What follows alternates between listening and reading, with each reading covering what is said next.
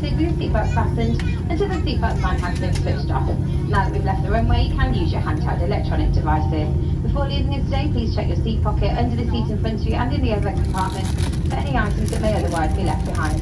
Please take care and open the overhead which doesn't be pulled out as items may confuse during the flight. Any items of lost property will be handed over to our airport team here in Turkey and will not be taken back to the UK. If you were given an additional seatbelt or life jacket, please leave these on our. When you leave the airplane and those customers who have requested assistance, please remain seated until all of the customers have disembarked and will be free to assist you further. Please have your passports ready for the immigration authorities and as a reminder, smoking is not allowed in this does include vapes, electronic cigarettes and nicotine resembling cigarettes. Once the airplane has stopped, the cabin crew will take a couple of minutes to focus on carrying out their safety duties. We'll then come back to give you some further information on which doors will be used to leave the aeroplane. Have a fantastic time here we do look forward to seeing you on your return flight home. Thank you all for flying TUI Airways and a very good afternoon to you all.